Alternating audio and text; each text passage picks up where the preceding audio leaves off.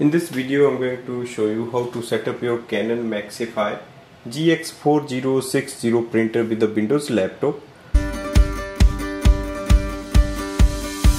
So first we will connect this printer with the Wi-Fi network and then we will install it in our Windows laptop.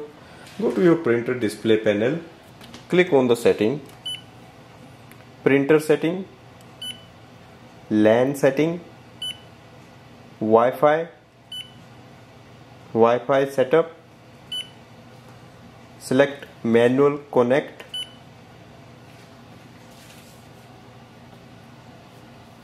Select your Wi-Fi network.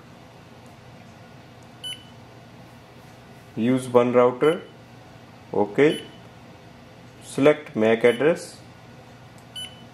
Once you enter the password press ok and press ok to apply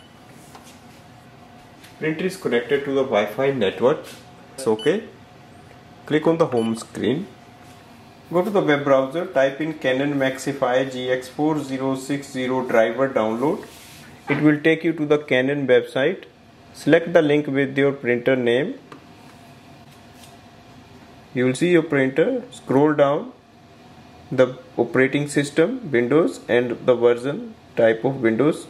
If that's not the correct, you can select the correct one scroll down so it will display the list of drivers. Click on that.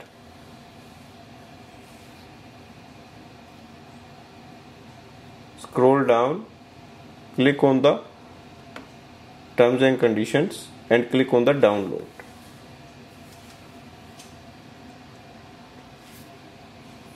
Open file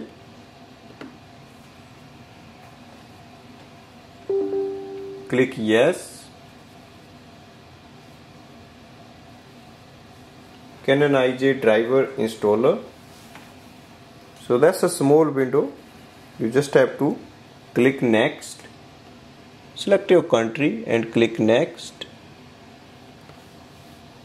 Agree with the terms and conditions. On the next screen you will see GX4000 series. Select it and click on the next drivers are installed successfully. Click on the exit. Close all the windows. We are ready to use this printer for printing and scanning. For example to do the scan you have to go to the windows scan app. So that is here. Scan app. In the app you have to click on the scanner option and select your Canon GX 4000 series place a page in the scanner for the scanning. For example you can just use the top ADF tray or if you want you can also use the scanner bed.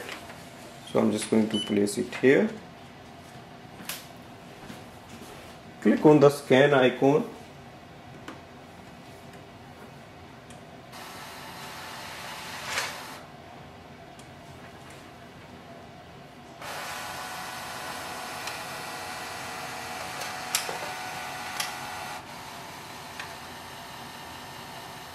scan is done. Let's view it.